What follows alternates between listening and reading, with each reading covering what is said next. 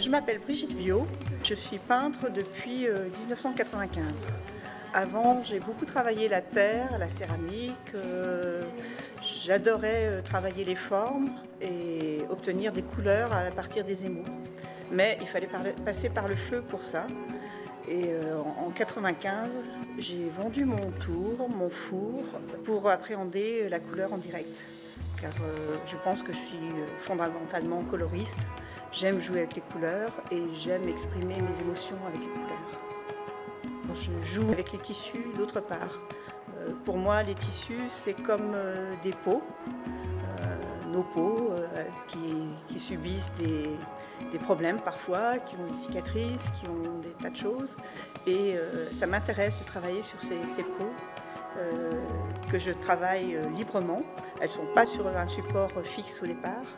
Et après, donc, pour les présenter, soit je les tends sur châssis moi-même, soit euh, je mets des tasseaux en haut, en bas, et ça, fait des bannières. Ça me permet de travailler des formats euh, qui vont du mouchoir, parce que je travaille aussi sur petit format, les mouchoirs, et euh, des grandes bannières qui font plus de 3 mètres, voire 4-5 mètres de hauteur sur 1 mètre 50, 1 mètre 60 de large. Je travaille aussi sur quelques objets, style des, culottes fondues de grand-mère, des mouchoirs, des vêtements, euh, des tuniques, des, vêtements que j'achète en brocante. Et puis euh, des mannequins aussi. Enfin bon, j'ai pas un mannequin et je, vais en peindre d'autres. Dans mon atelier, j'ai un stock d'une vingtaine de jambes de mannequins, donc qui fera l'objet d'un projet pour l'avenir. Alors au niveau technique, euh, j'ai mis un peu au point ma technique qui est un peu particulière. Je travaille avec des rouleaux en mousse et de la peinture acrylique. Euh, plus ou moins dilués, parfois très très dilués, euh, ce que j'appelle des jus d'acrylique. Et euh, je travaille quasiment tout le temps avec de la toile libre, des, tissus libres, que je, plisse, que je froisse, que je manipule, que je brasse, etc.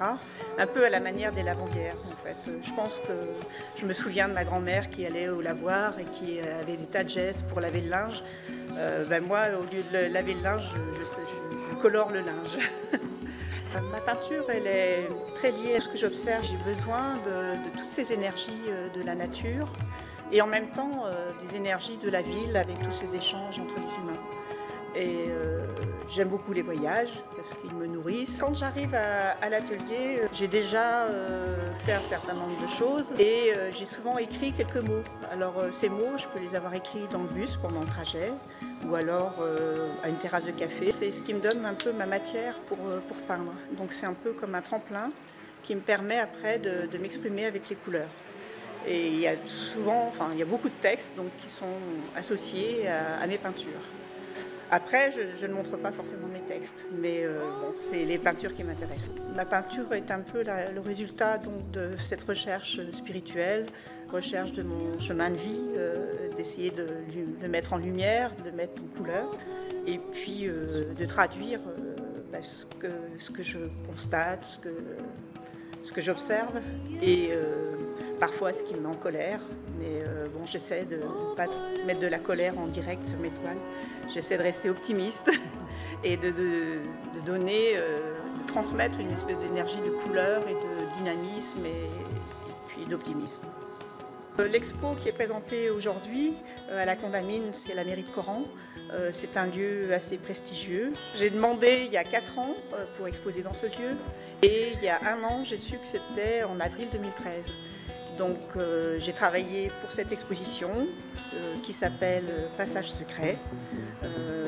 La dernière, une des dernières expositions s'appelait Voyage secret. J'aime beaucoup tout ce qui est secret et euh, j'aime qu'on puisse naviguer dans mes toiles, euh, circuler et trouver des issues, euh, des passages.